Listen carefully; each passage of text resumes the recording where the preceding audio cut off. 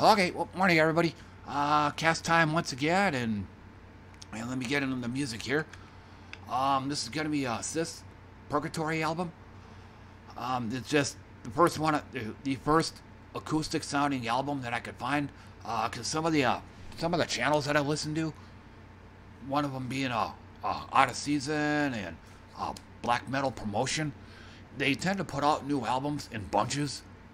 So, and apparently, uh, black metal promotion, I think there's a few other black metal channels that I've also subbed to, but they all like to put out albums a bunch at a time, not like one at a time. So I had to dig through a lot of that just to find uh find something like this. So, so let me go ahead and rewind this back. And um, and there's also going to be some moving parts in this one. So expect a few mistakes here and there. More functions mean more malfunctions. But, but, otherwise, just doing my usual. Uh, playing a fair amount of Gems of War throughout the night. Then um, and then finally, um, I'm gonna kind of talk shop a little bit here, so this might go over people's heads, but finally, finally got my damn card. Um, it's called Forest Troll, and um, he has an ability that doubles the amount of green gems on the board. And um, some I think some of my viewers when I stream, they've uh, they've asked me, uh, "You have Forest Troll?" I'm like, "Uh, no, not yet." So, but but all I can say is it's about freaking time. So. So definitely making use of this guy some point at some point in the future. Yeah, otherwise just been doing mostly farming in that game. Um, otherwise, this was also one of my uh, Amoeba Amoeba Records nights. Just just been watching a fair amount of that. There's a lot of um, which consists of mostly uh mostly artists I've never heard of buying music that I've never heard of. So, but uh, one thing I did notice that a lot of these artists, they seem to have this fetish for a band named Portishead. Often singing singing the band praises about what a wonderful album they, or what a wonderful band they are, etc. Um, so out of curiosity, I listened to their their debut album. I don't get it. I mean, no, I'm not. I'm not. I'm not saying it's a bad album. I'm not. I'm, I'm most certainly not saying it's a bad band. I mean, I would gladly listen to Portishead than something like Smash Mouth or or Whitney Houston. Like, screw that. So, but I mean, aside from that, though, it I don't get the appeal. And to me, it's, it they kind of sound like a if Beck was a woman. Um if uh if Bjork was an American. But it, it sounds it it sounds very 90s. It, it like trademark 90s. It, I mean, it was. It, I mean, the the debut album that I listened to, I think it did come out in the 90s. But I mean, it just. I think if you heard it and you grew up in the 90s, you would definitely say, "Wow, this is a night. Wow, this is '90s music." So.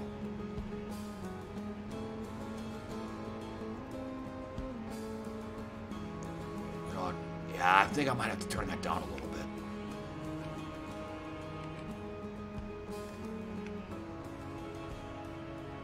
Okay, so. But yeah, it, it's. It was, but they were like, they were it was those are pretty much my first impressions.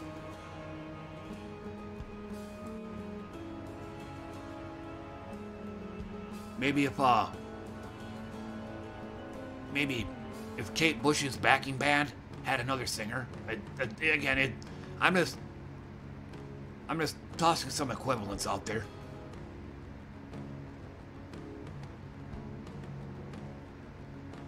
you know, I need, but uh, you know, but I mean, I, I guess it's also kind of like um. Now that I think about it, it's like the uh, pinball. It's like the pinball table, the Addams Family, the greatest selling pinball table of all time. I don't get the appeal. But it seems like millions of other people apparently do. You know, they praise that table to the high heavens. Uh, oh, what a wonderful table. I think um, Twilight Zone's kind of like that too. again, I don't, I don't really understand the appeal of that table. I mean, to me, the table's just a clusterfuck. But on the, I mean, it's, it's the Twilight Zone, so you know, do do do do do do do do do do do, you know, so it's got to have that kind of, kind a wonky layout. You know, so. But you know, on on the other hand, though, I'm pretty sure that uh, you know, if I if I mention that um, that uh, Dungeon Synth, I I don't know the name of the I don't know the name of the band. I just know the name of the album is like Dionysus, but it, it's it's Greek. It's a Greek album, but it's my favorite Dungeon Synth album. Hell, even even mentioning Dungeon Synth, most I mean Portishead fans would probably would probably uh, hear that and they'd be like, "Huh? I never even heard of that." You know, even throw you know then throw Dionysus on. I'm pretty sure it's like, what is this? Did they record this in a basement or something? Which my answer would be probably. Um, yeah, a guy, yeah, a guy on a flute and uh, and a, know, a guy on a flute and a synthesizer. Oh, okay, you know that kind of thing, or you know, even you know, or even throwing on some like, like old Commodore 64, or as I like to call it, Dungeons and Dragons synth. It's like music that's actually meant for uh, tabletop RPGs like Dungeons and Dragons. You don't throw this stuff on. Oh, this music's kind of cute. Oh, it sounds so retro. Oh, wow, you play this for Dungeons and Dragons. Oh, wow. You know, so I'm pretty sure I'd probably get that kind of reaction from them. Short answer, I don't get this music. So, or hell, you know, or hell, even throwing on a band, a band like Primus. You know, like Primus's Pork Soda album or Sailing the Seas of Cheese or, you know, something like that. throw something like this on and Oh, man, this music's kind of silly. Sounds like these guys are just fucking around, despite the fact that in my mind, especially the bass player, Les Claypool, the guy's a freaking genius. You know, it, but again, you know, like, you know, same planet, different worlds. You know, You I, I guess I guess um that can translate over to pinball too. You know, I'm pretty. You know, I can probably. You know, I mentioned a table like. I'm I'm I'm I'm sorry if you guys have never heard of these pinball tables, but pinball's been my life in some form ever since I was a little kid. So you know, but even even if I mention a table like oh, like Central Park, or El Dorado, you know, a lot, most other people probably wouldn't get the appeal of these tables despite the fact that they're, they're some of my favorites. You know, my all-time favorite table, TX Sector. You know, I'm pretty sure, uh, those big fans of Addams Family would probably check out a table like this and they'd be like, oh, wow, I don't get it. Must be a novelty table. So, oh, again, I mean, same planet, different worlds. So.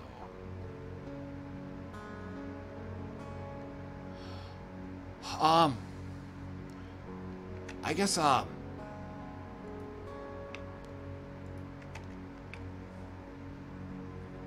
But yeah, I tried to. Oh, there was something else I was wanting to say too. I totally forgot. And I've got a small feeling I might be adding the poorly prepared tag to my uh, to my video title. Yeah, because I, I basically did this video and I basically did this in a hurry. Oh, that, that's what it was. Yes, I totally forgot. I'm totally going off the cuff on this, so no preparation on this. Um, I did try finding more uh, video clips to add to my stream. But um, it it just wasn't happening. Um, the I think uh, one of my uh, one of the characters on my team, on my main team, she's called Egg Thief. You know, she steals eggs. I thought it'd be funny as hell to have a the Amanda Show girls' room clip. The girl on there, hi, I like eggs.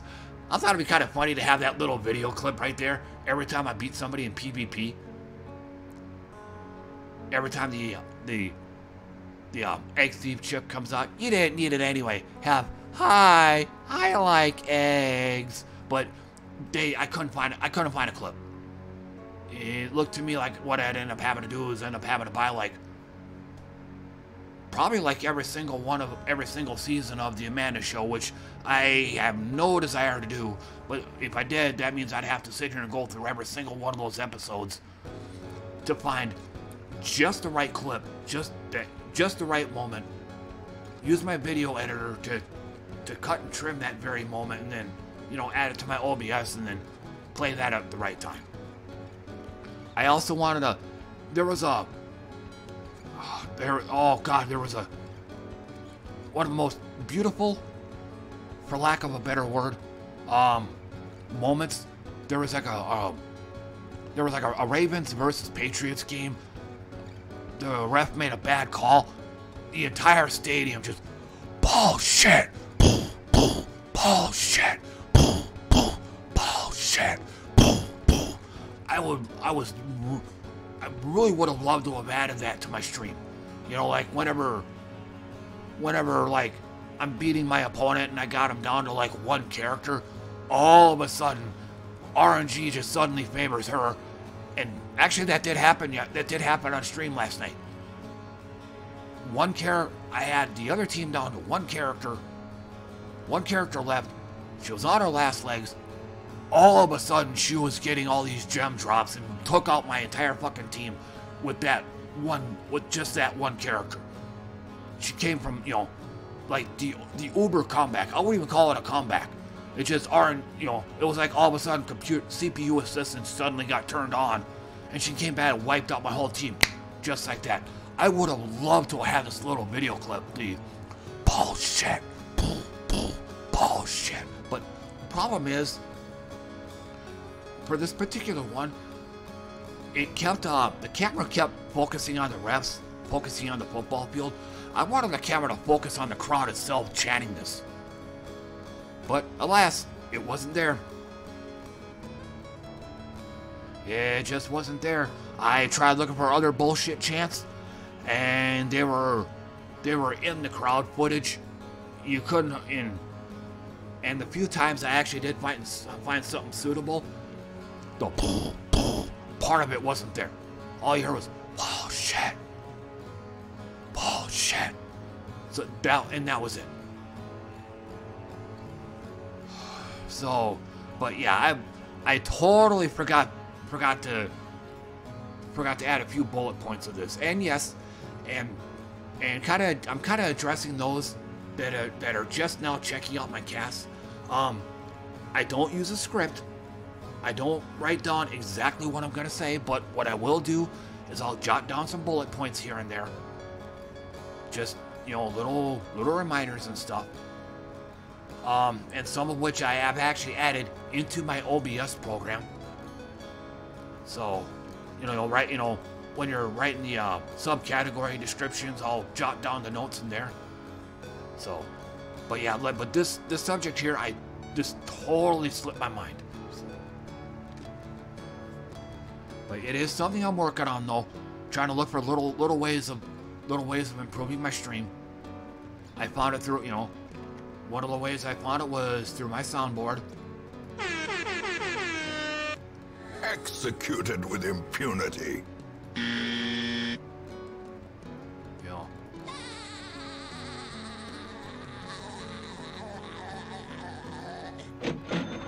You know, and so on and so forth. So that's one of the ways I found to improve my stream. Um, and you know, another way was looking for little video clips and adding them to adding them to my stream. So stuff like that.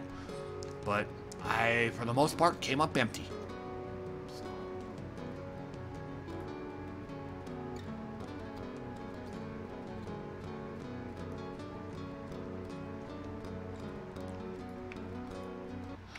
Oh, and I'm gonna go ahead and stop it here. Um, I'm before I close this out, uh, one thing I do also want to say is, uh, I don't, this is still this is an idea that I just started kicking around. I'm not a fan of it, and it might actually take a lot of work on my part, or it might take uh, extra work. But what I'm thinking of doing is uh, instead of just playing a YouTube video as I'm talking, I'm thinking of just doing just a talking only, just you know, like laying down the the vocal track for lack of a better phrase. You'll just have me talking, record that, and then just uh, record uh, and just record a YouTube video or record music underneath that. Having two separate tracks, having you know, having my having the me track and the music track.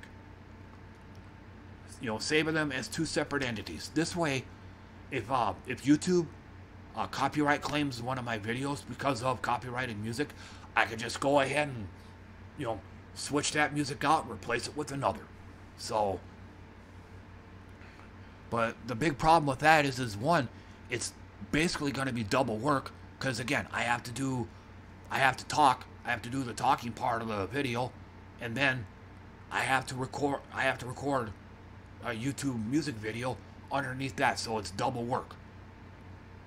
And if my video does get copyright claimed, then I'm going to have to erase that music and replace it with something else until I find something that doesn't doesn't trip the YouTube Content ID bot.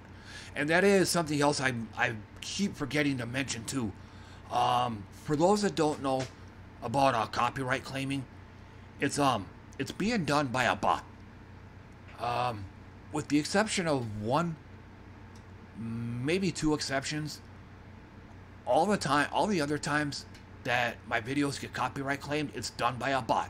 It's not done by an actual person. So, kind of the same way that uh, the way Twitch, Twitch censors their uh, content, they use a bot as well.